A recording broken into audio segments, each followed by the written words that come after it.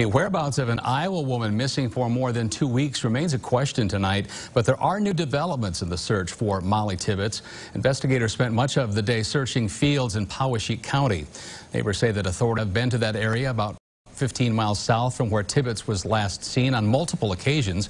Investigators continue to say that they are confident of Tibbetts' digital footprint. According to multiple media reports, canine dogs were on the scene this afternoon.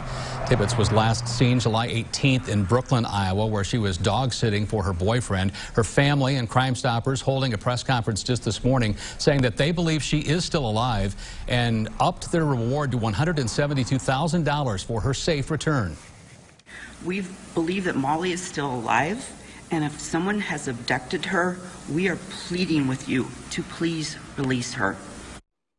Now, there's a dedicated tip line for that investigation. Both numbers are right there on your screen. You can also email information to the address also seen there on your screen.